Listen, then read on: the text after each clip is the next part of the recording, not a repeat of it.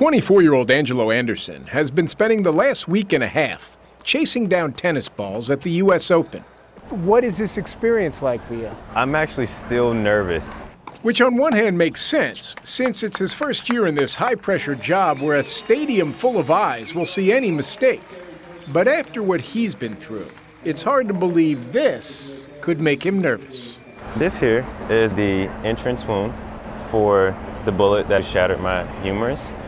It actually kind of ricocheted up. On July 2nd, 2010, this Navy medic was patrolling a village in Afghanistan with a Marine unit he'd been assigned to. Once I actually walked in between the two houses, gunfire actually rang out, and that was the gunfire that actually hit me.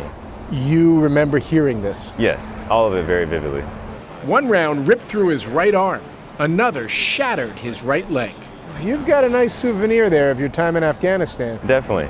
But my favorite, though, is actually my doctor's signature that did the surgeries on my arm and my leg. How do we get from you taking two rounds in Afghanistan mm-hmm. to being a ball boy at the U.S. Open?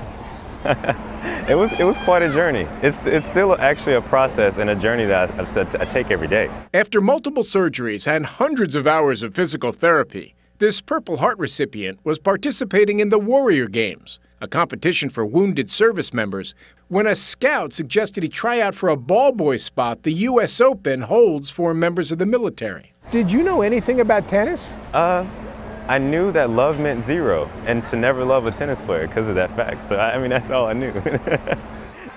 what is your presence at the Open communicating to other wounded warriors? My purpose here is solely to speak to the heart and the mind and the body of those that think that they can't do because of what happened to them. Sounds to me like you're on a mission of inspiration. I am. As much fun as he's been having, Navy Corpsman Angelo Anderson is looking forward to what comes after even more when he heads back to Camp Lejeune to train other medics. Tennis is great, he says, but he's got a job to do. Jim Axelrod, CBS News, New York.